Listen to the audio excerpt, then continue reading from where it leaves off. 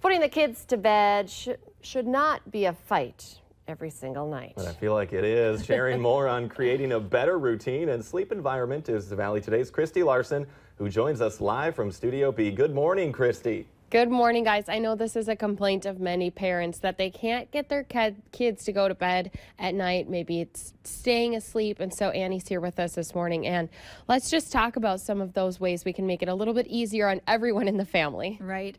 So usually I always say like a bedtime routine is crucial, right? So helping my families really get a good bedtime routine in place, you know, no screen time, nice calming activities like a nice quiet bath or quiet play activities, just to kind of help them wind down. Um, one of the things that I have a lot of parents say is that, oh, my kid just needs me to fall asleep. So I always would recommend that parents like introduce some kind of a lovey to their mm-hmm. to their kiddos, which you have. What is it, Mr. Bacon? and so, and I also brought my toddler's favorite teddy bear in here, Daryl. That's Daryl. So the thing that that helps with is just kind of forming that nice attachment for them so that they can go to sleep with this nice comforting item rather than depending on their parents. So that's a really awesome tip that I have. Um, another one of my most common complaints is that they're waking up so early, especially my toddlers who are in their toddler beds or something. So I always recommend that like let's look for an okay to wake clock, which you can see this one's turned it has turned green because I set it for 606 you know, once they have that visual cue, it's okay to get out of your bed. Um, it's a nice way to kind of set those boundaries without you having to be the bad guy. Like, right. your clock's not green, sorry. So just wait and be patient for that clock to turn green. It's a great tool for them.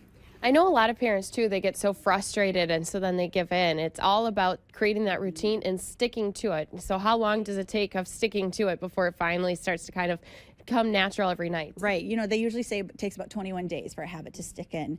Um, and the more consistent you are, the more, you know, develop those neural pathways are going to be within your brain to you know help automate those behaviors for kids like they just understand okay like mom's not going to give in i know that i have to wait for my clock to turn green or you know follow the bedtime routine yeah. So. It can be hard. You want to sometimes give in when they're whining about it, but again, it's sticking to your guns, creating that environment for them to go to sleep and then sticking to it. So we have much more on how to help get you a better night's sleep, especially for the adults. I know, guys, sometimes we go to bed so early because we wake up so early. So we have some remedies on some things that you can take before you go to bed that will help you not only fall asleep but stay asleep too coming up here on the Valley today.